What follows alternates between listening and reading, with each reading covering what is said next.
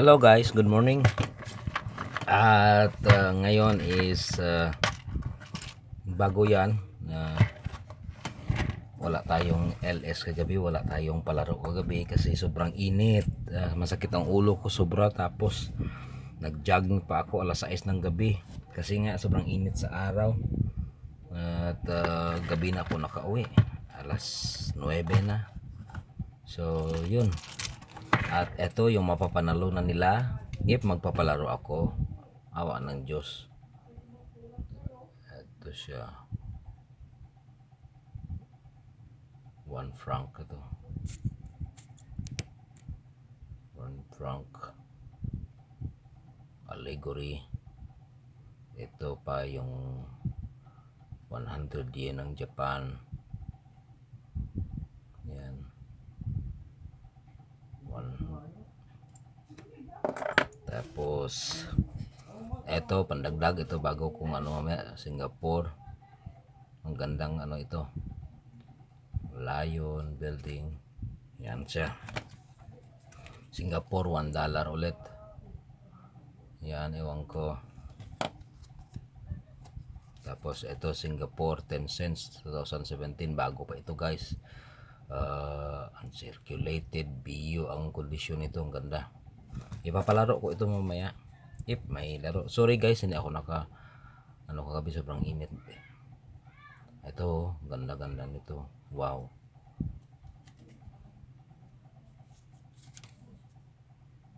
Yan, yan ang ipapapremyo ko mamayang gabi. Kaya handa kayo. Tapos, ito Korean 100. South Korea.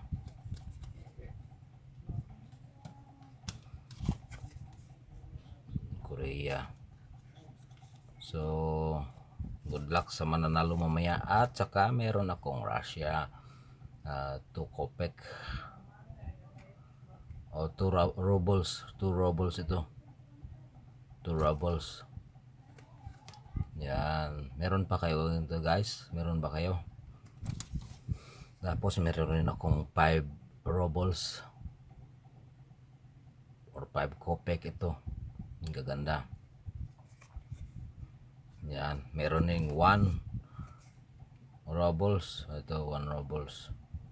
Gaganda ng kondisyon yan. Nakita nyo guys. Oh, diba? Ang ganda ng kondisyon.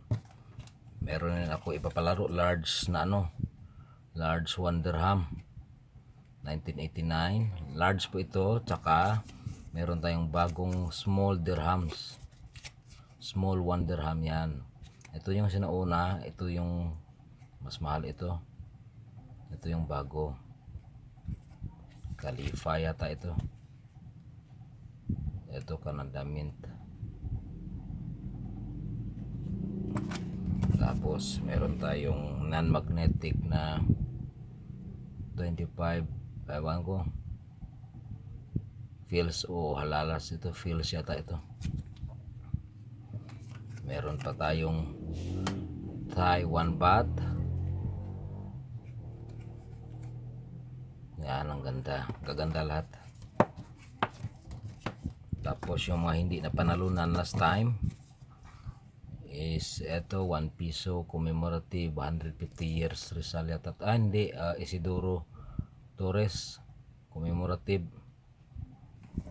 Tapos uh, commemorative rin ito uh, bagong bayani yata ito. Oo bagong bayani. O FW coin. Tapos ito ito yung Jose P. Laurel. Commemorative. Mahirap po makahanap ng mga barya na magaganda niyan. So ito tapos ito 10 centavos. Uh, error double die ito. At saka ito yung double die o verse rim error. Yan.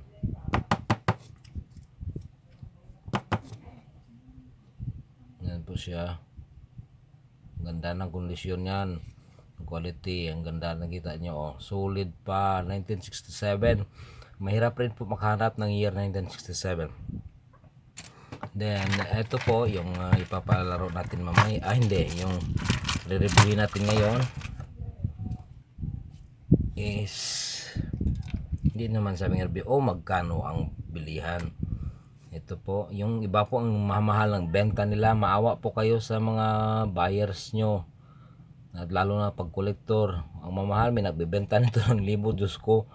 Hindi po ganyan ang bintahan. Ito po is ang uh, bilihan at nagbintahan nito is uh, ano, uh, pag ganitong kondisyon, baka 15 pesos lang ito. 15 pesos lang ito. Isa 15 to 30 pesos lang po. Pag sumobra dyan wag nyo nang bilhin. Eto eto yan. Mga 30 pesos po ito. Yan. Basta maganda. Yan. 30 pesos ang ganitong kondisyon. Wag po yung taga libo-libo ang benta. Maawa kayo sa mga bumibili. 10 pesos lang po. 10 pesos. Depende pero yan po ang pagkakaalam ko. Yan ang dami ko.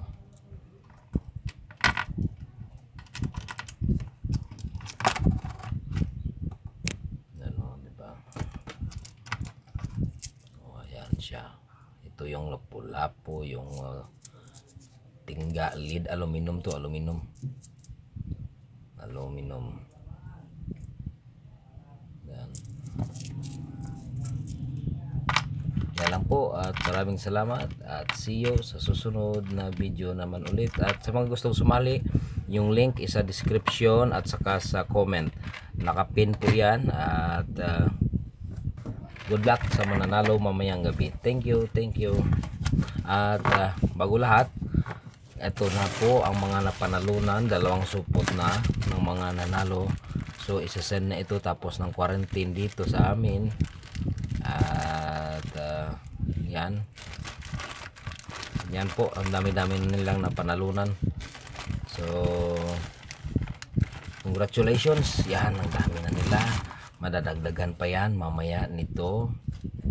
So swertihan lang po at good luck good luck sa inyo I hope na masend ko to at hindi mag-stricto yung JRS Express yan maraming salamat at uh, See you sa susunod na videos. Bye bye. Thank you.